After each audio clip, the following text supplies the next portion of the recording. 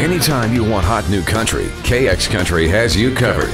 In the GTA and East on KX96 and in the GTA and West on KX947. Canada's number one country, KX Country.